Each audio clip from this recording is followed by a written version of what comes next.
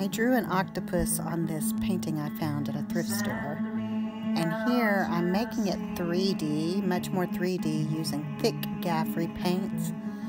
Filling it in, and then uh, the outside of the piping bag had the blue and the inside had the white.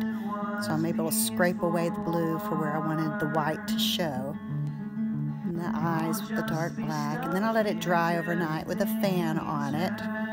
Oh, no, I went ahead and stuck my stuff into it, into the wet paint. I'll go back and add glue on those when it's dry. This is where it had dried overnight. And I went and gave her some fancy eyelids, and I stuck some old black twisty ties in there to give her some funky eyelashes. I love using found objects, recycled stuff in my art.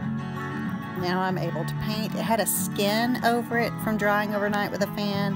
It's still squishy, but you could paint on it. And so I, here I'm piping in the little suction cups, and there